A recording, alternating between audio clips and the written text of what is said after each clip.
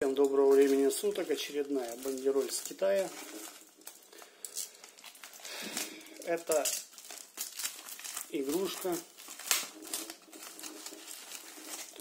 Вот такое вот яйцо. С сайта Gearbest. Это типа ну, типа яйцо.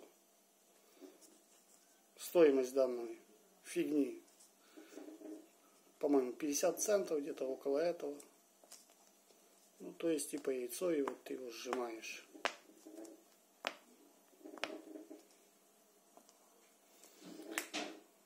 Добиралась сюда около двух недель. Сайт Gearbest. Всем спасибо, всем пока.